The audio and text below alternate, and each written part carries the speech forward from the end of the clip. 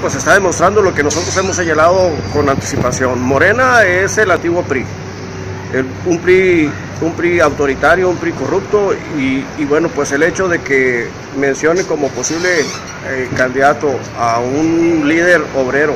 que tiene más de 10 años fuera del país, que está acusado de desvío de recursos en millones de dólares, pues simplemente habla lo que ellos van a, vaya, lo que ellos van y son corruptos. Pues es una situación que Morena debe determinar, pero si me pide opinión me parece que pues es un, es un error por parte de Morena el postular a esta persona.